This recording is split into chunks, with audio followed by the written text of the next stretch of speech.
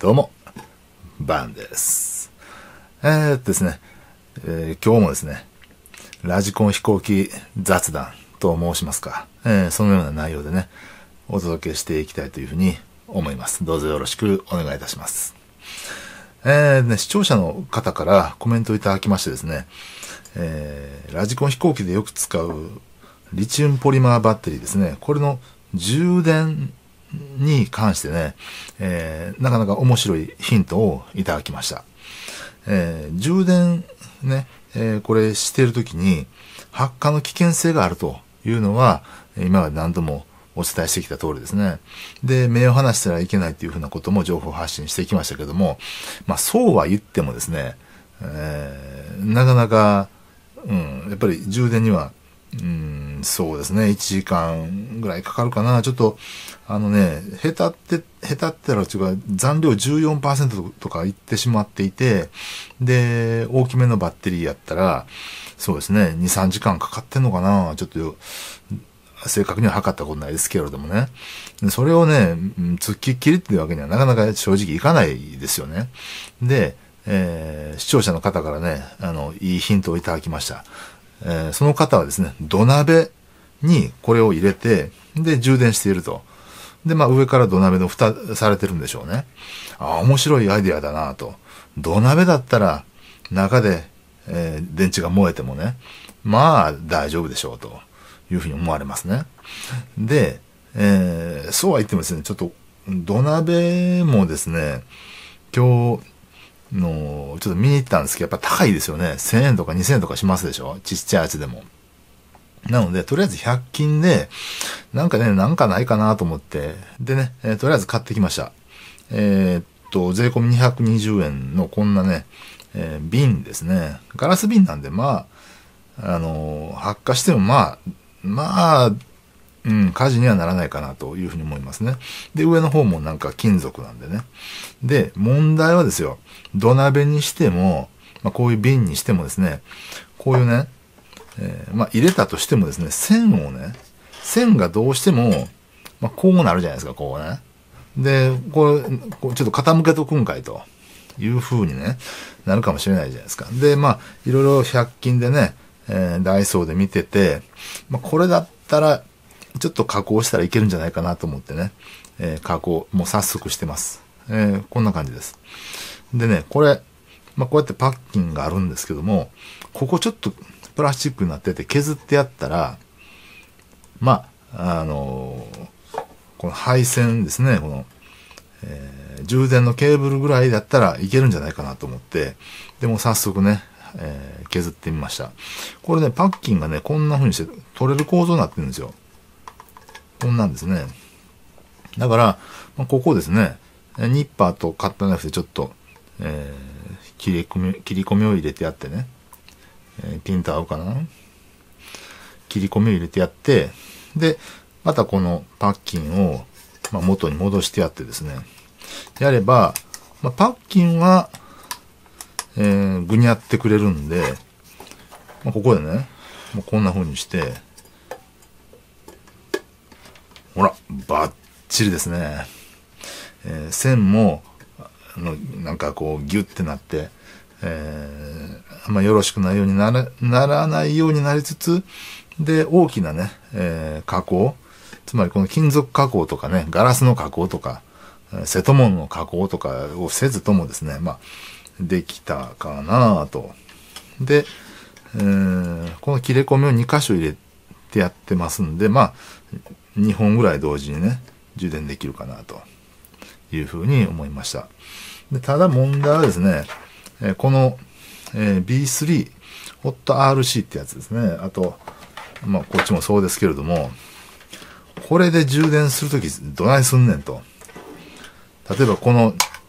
バッテリーこんな短いやんかというふうにね、なるわけですね。でまあちょっと考えましたよ。さてどうしたもんかなと。とりあえずやってみたんですよ。まあ、この2セルのバッテリーはまあまあこれは、これは、これでいいですわいな。で、問題はこのホット RC ですよ。で、こんなして、こんなすんの？と。で、まあ、こんなすんの？と。ねえ、まあ、こんななるわけですよね。これ、ここずっと持っとくの？んた。これブラーンってなったらあんまり精神衛生上良くないですよね、こう。ね。で、ここももう、うん、余裕ないですよね。これは美しくないですよね。で、まあ、うん、しょうがないんでね。えー、しょうがないっていうかね、安全にはちょっとお金をね、まあ、かけようということで、ここね、えっ、ー、と、コネクターですね。これなんていう規格のコネクターなのかというと、JST コネクターかな ?JSTXH っていうコネクターみたいですね。GST-XH2S3S4S というようなね、えー、コネクターのようなんですけども、Amazon でね、延長ケーブルが売ってました。えー、っとね、600円ぐらいだったかな ?700 円ぐらいだったかな？えー、ちょうど10%割引でね、売ってましたですね。まあ、だから、それを、えー、3本セットで、えー、700円か800円ぐらいだったかな。えー、2セル、3セル、4セルとあって、で、もうあの2セット買いました。3セルをね、よく使うんでね。で、まあ、それがあれば、えー、この、えー、加工したパッキン付きの、えー、瓶で、まあ、え密閉して、え充電できるかなと。で、まあ、ガラスなんで、まあ、燃えてもまあ、うん、まあ、割れるかもしれないですけれども、まあ、上も金属やし、まあ、どうだろうな。割れたりして。まあでも、気休め程度にはなるかなというふうに思いますね。うん。爆発するかなそうか。ボーンって。やっぱ土鍋の方がいいです。土鍋最強ですよね、やっぱり。やっぱ土鍋にしよっかな。しかも2本同時にやったら、1本が、えー、爆裂したら、えー、誘爆しますよね。怖いですよね。やっぱ土鍋かな土鍋場所取るけどなどうしましょうかね。皆さん、あの、ぜひ意見、お聞かせ願えればというふうに思います。まあ、あの、まあ、とりあえず土鍋にするにしても、まあ、延長コードがね、いるのと、まあ、あのー、こんな、ね、えー、パッキン付きの、えー、やつでも、まあ、ないよりはマシだろうというふうに思います、ね。まあ、とりあえずちょっと使ってみようというふうに思いますね。まあ、なるべく目は離さない方がいいですね。さて、えー、ガラッとね、話は変わりますけれども、えー、ね、コメントをね、いくつか最近、えラジコン雑談と言いますかですね、えー、初心者の方に、えー、ラジコン飛行機始めませんか？始め方みたいなね、そういう動画を1本2本出しましたけれども、そこのコメントでですね、やっぱりね、皆さん、ラジコン飛行機の飛ばす場所ですよね。これにやっぱりすごい、えー、苦労されてるなというふうにね、思いました。で、まあ、えー、そこで僕はですね、コメントでパークフライを僕も当初想定して、まあ、よく飛んでも20メートル、30メートル上空まで行ってんで、そこら辺くるくる回るっていうのことをね、実は僕も最初想定してたんですよ。えー、僕がいつも裏の浜、裏の浜って言ってるところは、まあ、いわゆる原っぱみたいなところでパークフライみたいなね、ことがまあできるかなと。YouTuber の方で何人かおられますよね。パークフライやっておられる方。すごく、あの、操縦テクニックがうまいなというふうに思いました。例えば、ライクバードさんとかね、えー、パークフライいつもやっておられますよね。アンダー 100g のね、100g 未満の機体で、えー、機体の完成度も非常にあの高い、えー、デザインセンスもあるね、そういうようなあの機体でいつも飛ばされてる動画が上がってます。で、あのあの感じを実は僕当初考えてたんですよ。えー、いつも裏の浜、裏の浜って言ってるところがちょうどあんな感じなのかなというふうにね、思っていたんですよね。まあ、ところがいざえー、実際にやってみたらですね、やっぱり、あの、最初作った機体が1号機、えー、翼長1100ぐらいのね、えまあ、一番自分が今持ってる飛行機の中で一番大きいやつなんですよ。1号機が一番でかいんですよ。で、それでやってみたらですね、まあ、木に引っかかる引っかかる、もう、狭い狭いと。いうような状況でですね、もう毎日のに木に引っかかって、で、もう、もうやっぱりこれはもう琵琶湖に行くしかないなと。いうふうに思って思い切ってね、えー、琵琶湖に飛び立たせたわけですけど、もう今はね、もうあの、ちょっとテストする時以外は基本琵琶湖です。えー、砂浜から投げて、で、砂浜のところに帰ってくるというふうにするスタイルですね。まあ、これだったらまあ、あの、琵琶湖に落ちるというリスクはあるものの、もうこれ前にも言いましたけれども、琵琶湖の上でやる分にはもう、もう、まあまあ誰も文句言いませんわ。で、法的にもね、全く問題ないと。いうふうには、あの、なってるんですけれども、まあそうは言っても僕の状況ばっかり言ってもしょうがないですね。さて、やっぱり、の小さいところで、ライクバードさんのようにパークフライをするのか、あとそれから、えー、TAM 広場さんですね、えー、機体をデコパンで作られていて、で、デコパンの供給が止まって最近、えー、モデルチェンジをされたね、えー、タム広場さんっていうのかな、TAM 広場さんっていうのかな、どちらの見方になるのかちょっとあの大変失礼ながら、えー、ちょっと調べきれておりませんけれども、えー、あの方もいつもパークフライをね、アンダー 100g でやっておられますよね。で、あんな感じでという風にするのであれば、まあ割かしね、あの、場所は確保できるなというふうに思いました。えー、まあ、例えばですけれども、やっぱりラジコン飛行機って、あの、基本風がない方がいいじゃないですか。だから僕も基本日の出直後にやるんですよ。その時が一番やっぱり、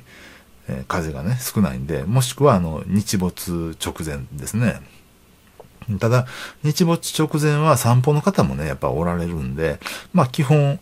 は、あのー、日の出直後が、まあ、えー、一番、うん、飛ばしやすいですね。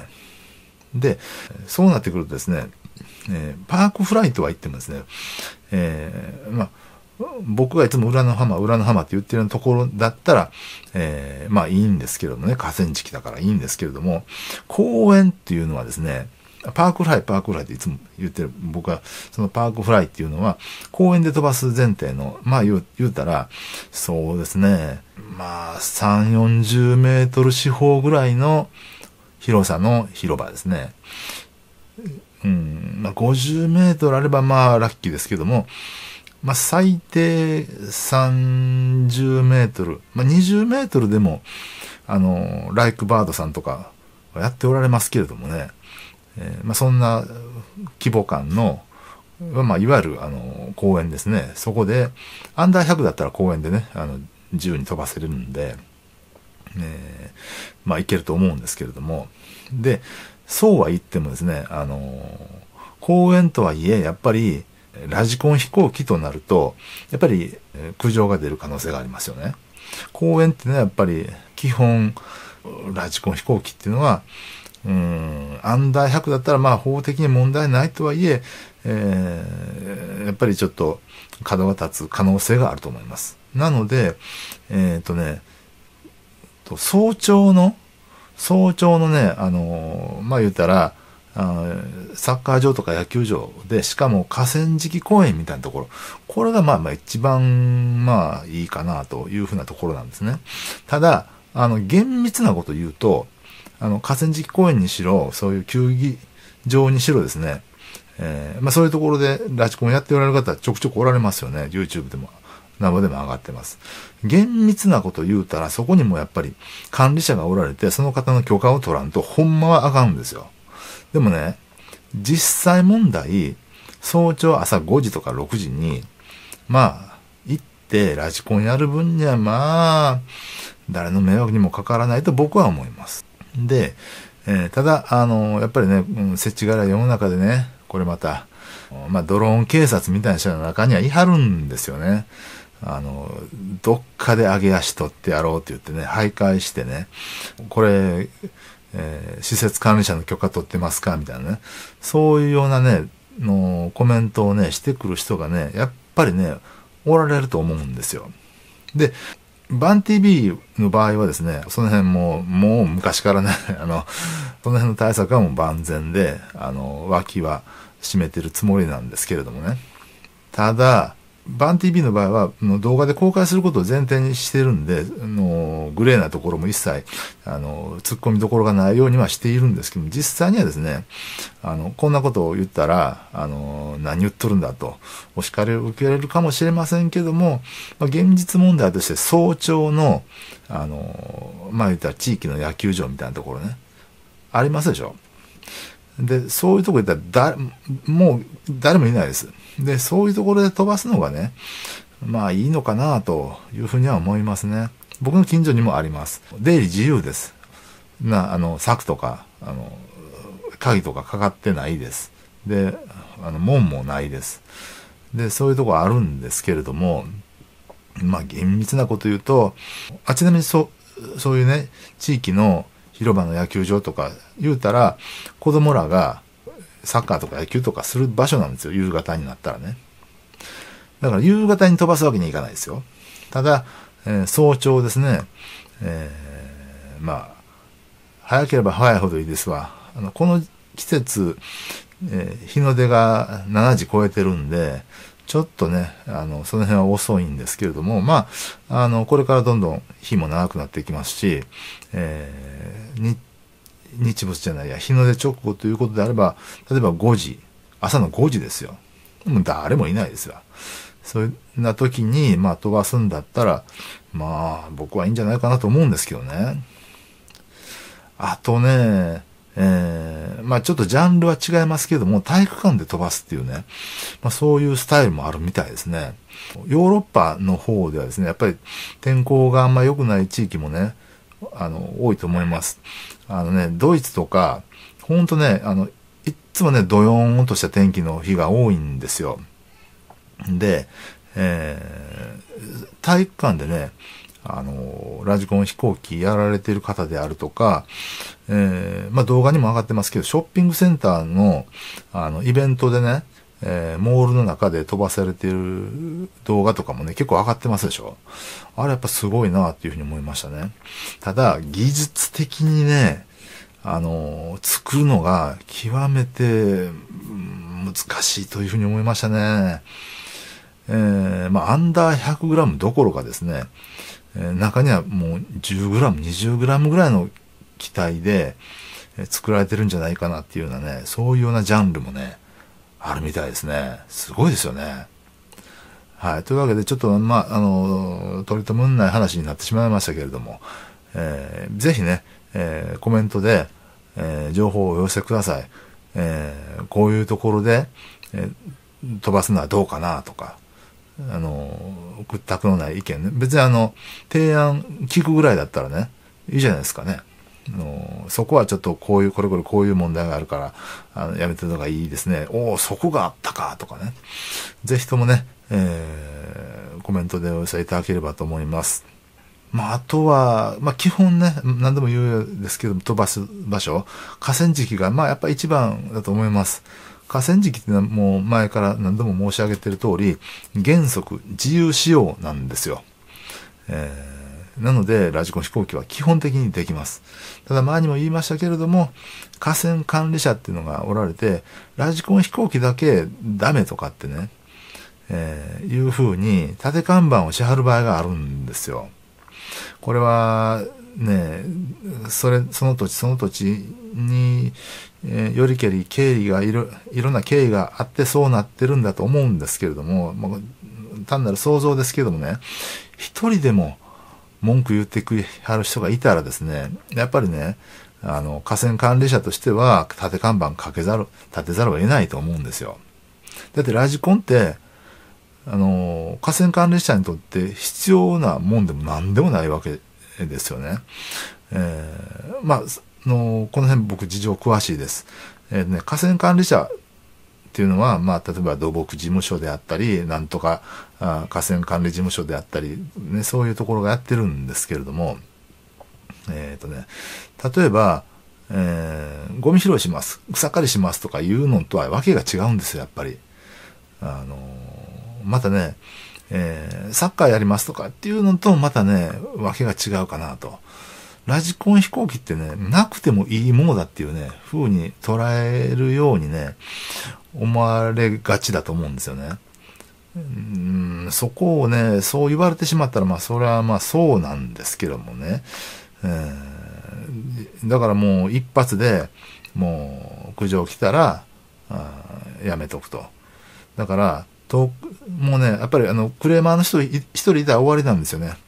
だから昔はね、あの、ラジコン飛行機、えー、エンジンの人がね、多かったじゃないですか。その頃に比べれば、ちょっとはマシだと思いますよ。やっぱりエンジン音は遠くまで聞こえるんで、いなんか遠くの方でラジコン飛行機やっとるなもしあれが、あの、流れ玉みたいにしてこっちに来たら、もう、どうもならんと。うん、けしからんというふうにね、雷親父みたいな人がね、遠くの方に一人い張っただけでも、もう極端な話、その地域の人じゃなくてもですね、えー、河川管理事務所に苦情があったら、やっぱり縦看板立てはるんじゃないかなと思うんですよ。ただね、まあ、その土地その土地の事情によりけりだと思うんですけども、それ、この縦看板法的拘束力ありますかって一遍聞いてみて、みてもいいと思いますよ。河川敷って原則自由使用なんじゃないですか。これ、あの、法的拘束力ありますか？と。そんなこと言うたらね、まあ角が立ちますけれどもね。まあ、ダメ元で言ってみてもいいと思います。だって、言うたら、クレーマーの人の意見、えー、聞いて、で、実際当事者であるラジコン飛行機をやってる人が泣きを見るっていうのもね、よよう考えたらおかしな話ですよ。ね。えー、実際自分の家の方に突っ込んでも来てへんのに、そういうふうな、あの、苦情を入れるっていう人がね、実際にはね、おられます。ちょっとあの、まあ、言っちゃった。あのね、実際にはおられるんですよ。突っ込んできてからで遅いやんかっていう意見ももちろんそう、ありますよ。あるんですけれども、こんなこと言ったらね、そんなこと言ったら、車、道走ってますでしょ？ね。家に突っ込んできたらどないすんねんとかって。言ってると、まあ僕はさほど変わらないんじゃないかなと思うんですよ。ただ、何度も言うように、状況が違うんですよ。車っていうのは移動手段として、やっぱり必要なものというふうに、まあ、捉えられますよね。ラジコン飛行機別に世の中に必要ないやんというふうにね。捉えられたら、やっぱり立場としてはどうしても弱いということになるわけですね。で、そこで、やっぱり土地を管理しているものからしてみたら、えー、やめておいてくださいとかね、縦看板立てるとかいうことになるんでしょうけれども、うーん、ほんとね、やっぱこの辺は難しい問題ですね。ただ、河川管理をされている方にとってみればですね、やっぱり、あのね、言うたら、琵琶湖の上っていうのは本当ね、僕の場合は本当ラッキーだと思うんですよ。琵琶湖の上はね、さすがにね、文句言われないですね。えー、まあ極端な話、例えばですけれども、えっ、ー、とね、この近所でもね、飛んでたことあるんですけども、モーターパラグライダーだ。モーターパラグライダーね、飛んでることあるんですよ。映像あったらちょっと載せておきますけれども。で、ちょっとこれ、あの、モーターパラグライダーはどうなのかって実は調べてみたことがあるんですよ。法的には全く問題ないです。琵琶湖の上で何飛んでも。で、えー、離発着に、えー、琵琶湖の河川敷を利用しても全然問題ないんですよ。法的にはね。うん、なんですけれども、ただ、えー、実際のところ、えー、家の上に人が落ちてきたらどうすんやとかね、いうふうなまあ、苦情を入れる人も中にはもしかしたらおられるかもしれないですよね。うん。まあでも、琵琶湖の上だったら本当ね、あの、そのモーターパラグライダーにしろ、ラジコン飛行機にしろ、まあ大丈夫ですね。何度も言うように。なので、やっぱり川の上、例えば河川敷じゃなくて、本当にもう川の上とか湖の上とかだったらもう、もっと突っ込みどころは薄くなると思います。だから水上飛行機ですよね。水上飛行機っていうのはそういう強みがあると思いますね。離発着すら水の上っていうね、ところで、ちょっとね、ほんともう突っ込みどころがあの、ないです。なので、のバンの場合もね、ようやく、えー、水上で着陸までできましたけれどもね、えー、今後は水上で離発着できるように、えー、していって、で、ちょっとずつですけれども、全部で9機ある飛行機のうちいくつかは水上飛行機化していきたいなというふうにも思ってますし、えー、そうすればするほどやっぱりね、より安全で、えー、自分にとってはもちろんリスクありますよ。自分、自分にとってリスクっていうのは、琵琶湖にドボンするリスクっていうことです。安全の、安全上のリスクじゃないですけれどもね。で、そういうふうに、琵琶湖の方へ持っていけばいくほど、川の方へ持っていく、湖の方へ持っていく、池とかでもいいですよ。えー、の方へ持っていけばいくほどですね、リスクは、あの、突っ込みどころは少なくなると思います。ただね、これまたね、ややこしいことに、池っていうのはね、大概はため池で管理者がおられるじゃないですか。そこはまたね、河川敷とまたちょっと状況が違ってきますよね。うんと難しい。で、しかも池の場合は、アクセスが難しい場合、あの、危険、あ、水にアクセスするのが危険な場合も多いですよね。なので、そこはね、やっぱり場所によりけり、ほとんどのため池の場合はね、うん、厳しいかな。ため池落ちたら上がれないですよ、正直言って。あれ、めちゃくちゃ危ないですから、皆さん注意してください。あの、プロの消防士でも、ため池に落ちたら登るのは、困難だと言われてますし、ため池はダメです。あの、自然のね、自然の池ってあるんかなあの、滋賀県にはまあ、ありますけれども、えー、と、普通は、そうか、ため池が多いんかな。はい。というわけで、まあ、ちょっとその辺の情報もね、えー、皆さんコメントでお寄せいただけたらなというふうに思います。でも本当難しい。で、そして、欧州、それから欧米ですよね、の環境が本当羨ましいですよね。あのね、ほんとね、あの、緑っていうかね、あの、芝生公園ってだだっ広いようなところがね、多いんですよ、欧米って。でもね、あの別にそんなもドローンが少々飛んでようが、ラジコン飛行機が飛んでようがね、ほんな誰も ほとんど文句なんか言いませんよ、本当に。日本ぐらいじゃないですか、こんな、上げ、上げ足取ってばっかりのしょうもない人、いや、あの、クレーマーが多い。まあ、まあ、あんま言うなんとこ。ね。はい、すいません。本日以上です。ではでは。